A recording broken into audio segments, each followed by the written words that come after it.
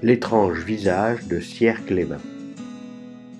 Sierre-les-Bains, ce village de Moselle, ne vous dit sans doute rien.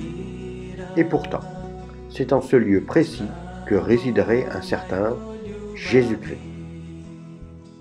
En effet, le 31 août 1985, les habitants de cette commune ont en effet assisté à une apparition des plus surprenantes sur la façade d'un immeuble, situé dans la Grande Rue.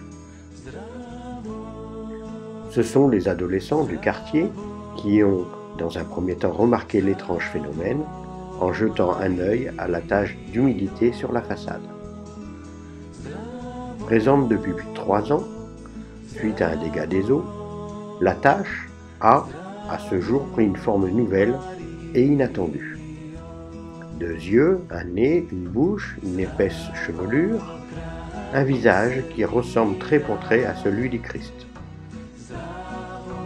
Depuis cette découverte inexpliquée, bon nombre de chercheurs et architectes ont tenté de comprendre les raisons d'une telle apparition.